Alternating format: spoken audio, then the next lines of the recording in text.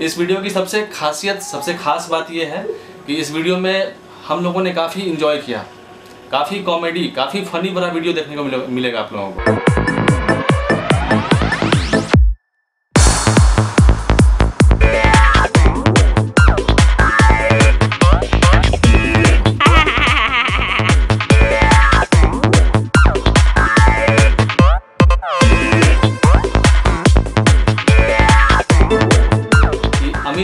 जैसा कि आप लोग जानते हैं कि अच्छे म्यूजिशियन तो हैं ही, लेकिन इन्होंने रैपिंग भी किया है।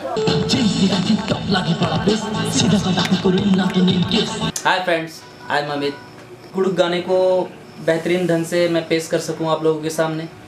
ऐसे तो नागपुरी हमारे झारखंड में बहुत ही फ़ेमस है, काफ़ी पसंद किया जाता है। लेकिन मैं चाहता हूँ कि गुड़ुक सॉन्ग को भी आप लोग जाने पहचाने। एन दीवाना हमको गाना सबसे अच्छा लगा। फ़र्स्ट बार आया हुआ है।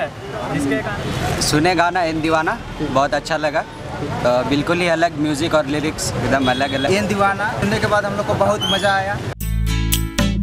पूरी गाना का अपेक्षा हम लोग कुड़ू गाना बहुत कम आता है हम लोग का कुड़ू गाना।